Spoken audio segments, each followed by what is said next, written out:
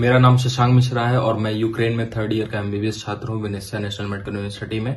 तो मेरी गवर्नमेंट से यही मांग है कि अभी बहुत सारे स्टूडेंट करीब करीब बारह तेरह हज़ार इंडियन स्टूडेंट अभी यूक्रेन में है। तो जैसी सिचुएशन चल रही है तो यहाँ पर सारी जो फ्लाइट्स थी, जो स्टूडेंट ने बुक करके रखी थी, आने वाले दिनों में उनको रोक दिया गया है।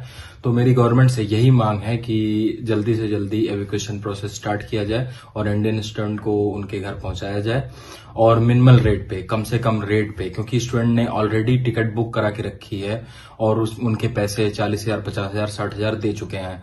तो यहाँ पर जो स्टूडेंट पढ़ने आते हैं, वो सारे मिडिल क्लास फैमिली से होते हैं तो इतना अफोर्ड नहीं कर सकते हैं। तो मेरी गवर्नमेंट से यही मांग है कि जल्दी से जल्दी इस प्रोसेस को स्टार्ट किया जाए।